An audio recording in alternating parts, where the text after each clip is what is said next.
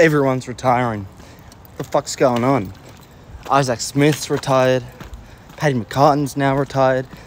I mean, what a career it could have been, really. Um, one of the more unfortunate players in the AFL, alongside Johnson. Football's cruel, man. He had, you know, number one draft pick, so much potential.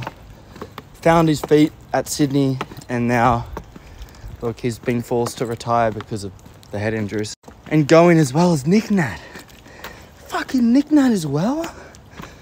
One of my favourite players to watch. Um, I think about Zach Merrett pulling on his hair and he just goes ape shit.